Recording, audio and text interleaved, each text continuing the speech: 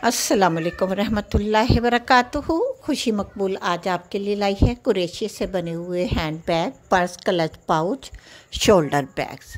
मुख्तलिफ़ नामों से आप इस तरह के कुरेशी के बने हुए बैग्स किसी भी एक्सपर्ट को दिखाकर भी बनवा सकती हैं और डिस्क्रिप्शन में नंबर भी है, आप वहाँ से भी रबता कर कर मंगवा सकती हैं। मुख्तलिफ़ बड़ी बड़ी वेबसाइट से ये बने बनाए भी मिल जाते हैं।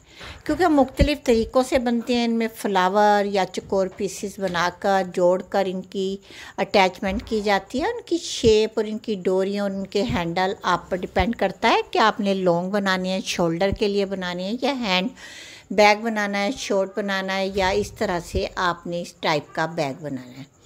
क्योंकि जो एक्सपर्ट होते हैं, उनके पास इस तरह के पैटर्न सेफ़ होते हैं।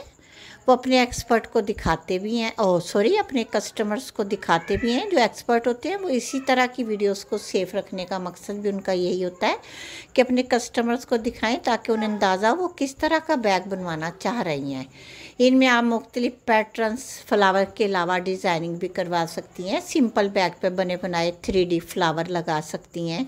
नेट टाइप के ये आप जो बैग्स होते हैं बनाकर इनमें थ्री डी फ्लावर जब आप लगाएँगी, वो इंतहाई खूबसूरत लगती हैं। पोम पोम बनाकर भी लगा सकती हैं।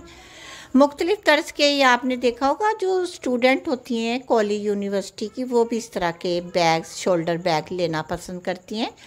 और इस तरह उनमें अपनी छोटी बड़ी जो भी उनकी बुक्स होती हैं, डेली वेयर में यूज़ होने वाली, वो इस रखती हैं और बहुत सारे आइडियाज़ आपको इस तरह की वीडियो से मज़ीद मिलेंगे।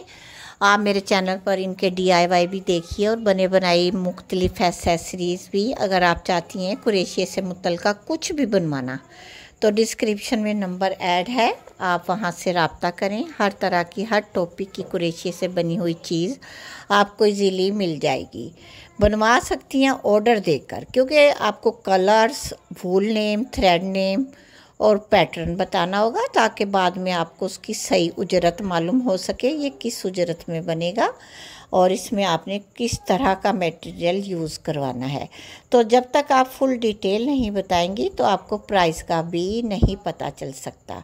तो डियर इसी तरह की हेल्पफुल वीडियो से आपको बहुत ज़्यादा हेल्प मिलेगी।